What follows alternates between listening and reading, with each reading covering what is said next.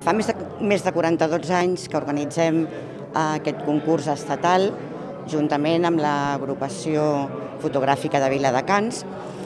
Es tracta d'un concurs important perquè, com he dit, és estatal i es tracta de dinamitzar tant el món de la fotografia com els fotògrafs.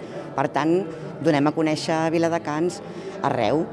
Eh, hi ha eh, diferents categories, com la, el tema lliure, el tema Viladecans o el tema dels espais naturals.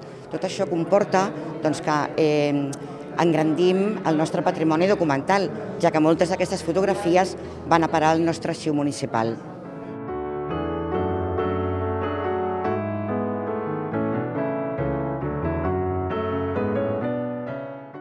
És eh, l'acte més, més important que fem a l'any. Eh, portem ja, aquest és la 42a edició, són molts anys fent-ho cada any i el més important de, que fem a l'agrupació.